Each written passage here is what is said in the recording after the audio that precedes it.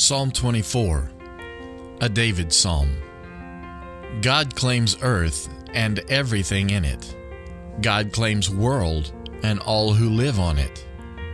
He built it on ocean foundations, laid it out on river girders.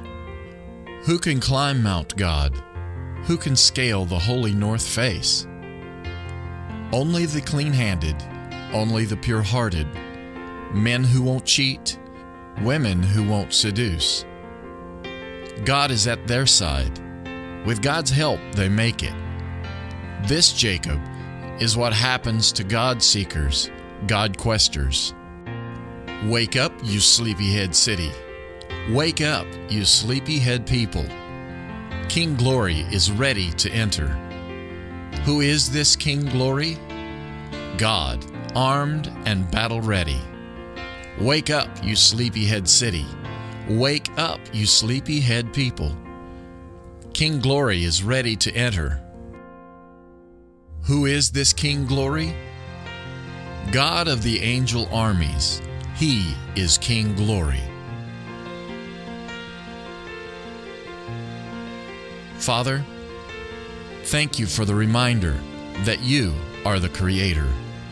Everything is yours. I am reminded of your conversation with Job. Where were you when I created? Thank you for opening my eyes to the understanding of climbing Mount God, scaling the holy north face. As an adopted son, you have given me hinds feet, or the ability to change from glory to glory as I behold the face of your Son Jesus. My heart has been made clean by the blood of the Lamb, His sacrifice, and my wholehearted belief in that sacrifice has made my heart pure. This has given the privilege of seeing you, Lord.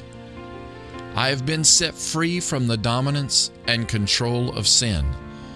Keep my heart ever seeking after you.